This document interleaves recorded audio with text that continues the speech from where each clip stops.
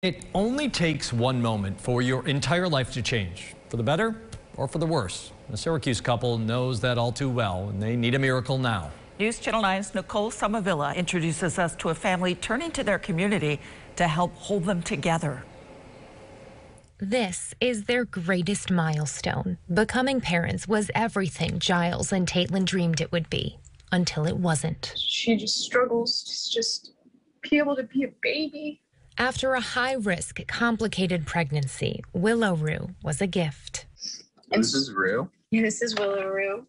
But only five pounds and a few weeks old, something was horribly wrong. They were restraining my daughter. They were taking labs. She was screaming at the top of her lungs. She was puking. There was nothing that I could do to soothe her.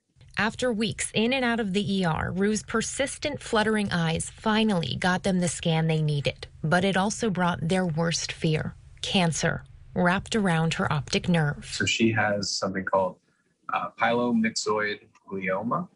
It's extremely rare. The prognosis, even more terrifying. We don't know how long she's got. I mean, we're hopeful. We're hopeful, but it's it's really rare, and um, there does seem to be a lot unknown. About. She's had two surgeries in a matter of three weeks. She has to have a, like a feeding tube in at all times. And Golisano has become their home. So as bills pile up, their income dwindles. I think she needs anti-nausea and Tylenol. And they need help because as long as little Rue is fighting for her fragile life, they're not leaving her side.